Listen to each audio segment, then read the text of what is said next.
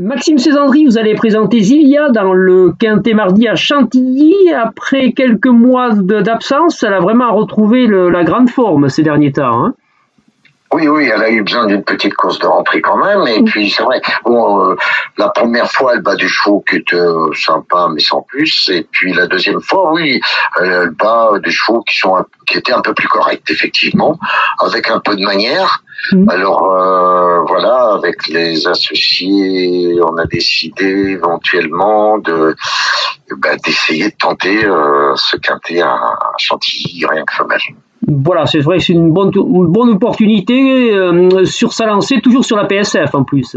Absolument, mm. absolument oui, oui, oui. Elle a déjà gagné sur gazon, mais bon, elle fait, elle fait un peu tout, quoi.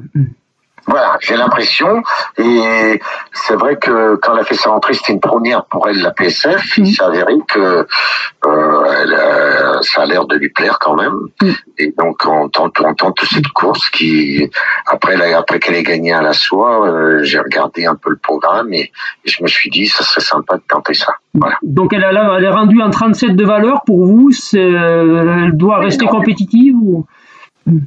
Oui, alors compétitif, euh, compétitive, pardon, je, je, je l'ignore. Mm. Euh, maintenant, euh, je pense que elle vient de gagner de bonne manière sa dernière course. Mm. Euh, pourquoi pas essayer euh, mm. Si on n'essaye pas maintenant, on n'essaiera jamais, quoi. Mm. Voilà.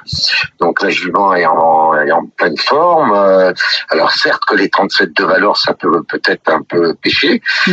mais mais à juste titre, bon, elle a gagné deux courses de suite. Bon, voilà, elle a 37, c'est comme ça. Non, je pense qu'il faut tenter. Ça vaut le coup.